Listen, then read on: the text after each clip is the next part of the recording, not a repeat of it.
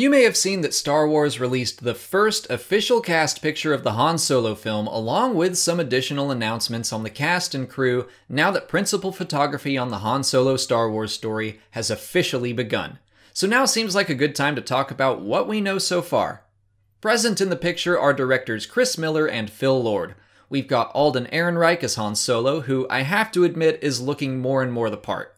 Donald Glover as Lando Calrissian, Joonas Suotamo reprising his role as Chewbacca from The Force Awakens, and Emilia Clarke, Woody Harrelson, and Phoebe Waller Bridge, who are all playing characters that have yet to be revealed. Not in the picture is Thandie Newton, who is rumored to be joining the cast, but we can now confirm those rumors thanks to the official release by StarWars.com.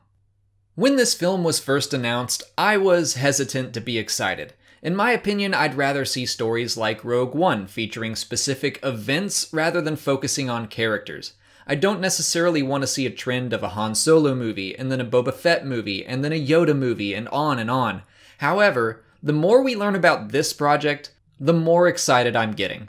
I'm a fan of most of the cast, and I'm especially excited to see what Donald Glover will do as Lando. I'm not very familiar with Alden, although I liked him a lot in Hail Caesar, and I don't know Phoebe Waller Bridge at all, who's currently rumored to be playing a droid. Everyone else, though, I'm sold. Harrelson is said to be playing a mentor of sorts to Han, and many fans have speculated that he will be Garris Shrike from Star Wars Legends, thanks to the fact that Woody said he was, but I'm still skeptical about that statement. The story is written by Lawrence Kasdan and his son Jon, which is another big reason to be excited. Lawrence has written some of the best movies of all time, including The Empire Strikes Back and Raiders of the Lost Ark. I truly believe they will write a story that's not only exciting, but true to the character we all hold dear.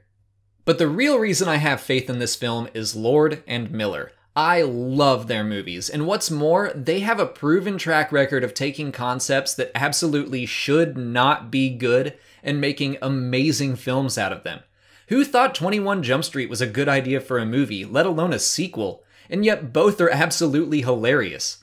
The Lego movie sounded like the dumbest idea for a movie to me, but it wound up being incredible because Lord and Miller go above and beyond expectations. They didn't make a movie about Lego, they made a movie about what it's like to be a kid playing with Lego.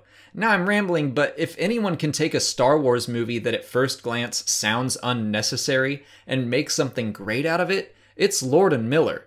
Even their working title for the movie, Red Cup, is fun and creative and goofy.